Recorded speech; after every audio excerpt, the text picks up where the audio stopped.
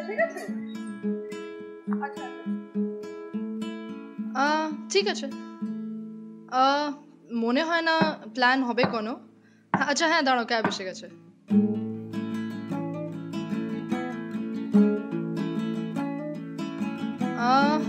আসতে কত টাইম লাগবে জানি না। সিক্স মিনিটস আরও? হ্যাঁ চলো পৌঁছচ্ছি বাই বাই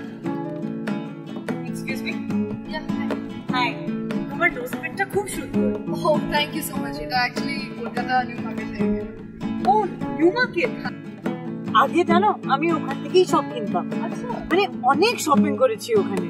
ছ বছরে বাবার এখানে দিল্লিতে ট্রান্সফারের পর আর যাওয়া হয় না। আচ্ছা। কিন্তু আগে তো নিউ মার্কেট থেকেই নিতাম।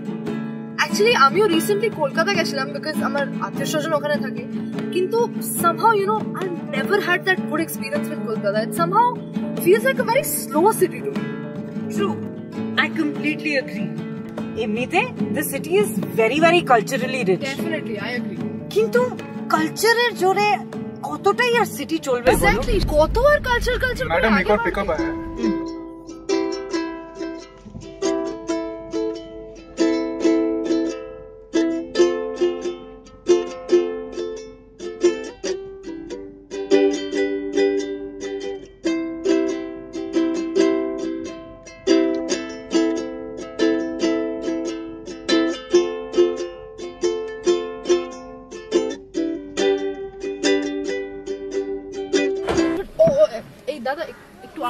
আগে ও sorry can you just shift the seat a little forward হ্যাঁ নিশ্চয় নিশ্চয় how so you're a bengali too yeah কিন্তু এই কিছুদিন আগে শিফট হয়েছে এখানে স্যার চলে হ্যাঁ শিফট মানে শিফট মানে অরিজিনালি তো আমি কলকাতা থেকেই না Thank God you shifted then.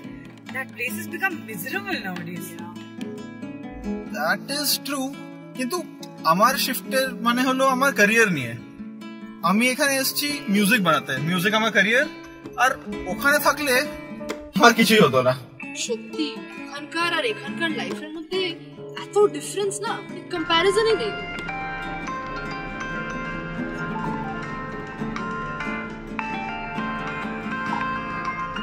হ্যাঁ বাবা হ্যাঁ আ- আমি না একটু গাড়ি চালাচ্ছি এখন তোমাকে পাঁচ মিনিট পরে ফোন করবো যা দাদা আপনিও বাঙালি? হ্যাঁ। কোথায় থাকেন? এই তো সিআর পার্কের কাছে। যদিও আমি কলকাতায় কোনোদিনও যাইনি। যাওয়ার ইচ্ছে আছে? কিন্তু কলকাতা যাওয়ার ইচ্ছে আছে কেন? I mean what's so special in Kolkata? আপনারা ঠিক বুঝবেন কিনা ম্যাডাম সেটা জানি না।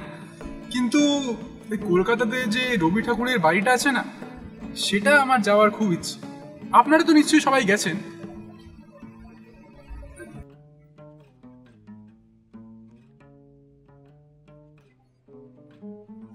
ম্যাডাম আপনাদের ড্রপ লোকেশনটা এসে গেছে। হ্যাঁ আমারটা পেটিএম দিয়ে। হ্যাঁ ঠিক আছে। আমারটাও পেটিএম দিয়েই হয়ে যাবে। আচ্ছা থ্যাংক ইউ থ্যাংক ইউ দাদা।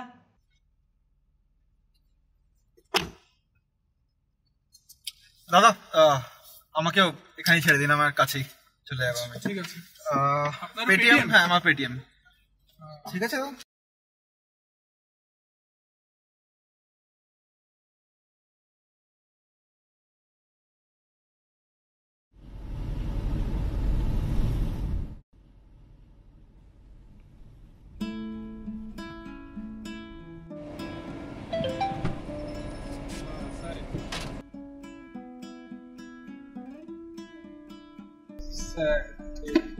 ఇప్పుడే గ్యాప్ తీసుకున్నాను.